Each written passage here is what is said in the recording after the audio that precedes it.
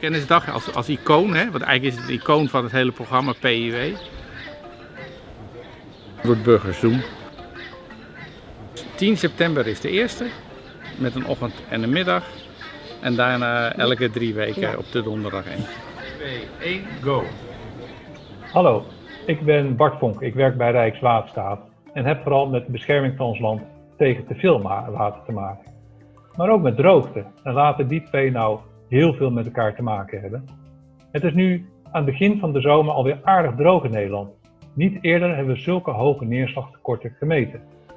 Maar pas als we deze workshop gaan geven, weten we hoe droog het werkelijk is geweest en welke gevolgen dit heeft gehad op onze waterkeringen.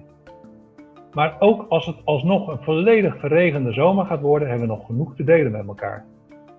Hoe heeft de implementatie van de aanbeveling beleidstafel droogte uitgewerkt?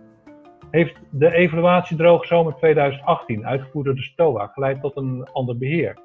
Hebben we nieuwe inzichten over de effecten van de droogte op de verdroging van onze waterkeringen, op de daling van de Freatische lijn?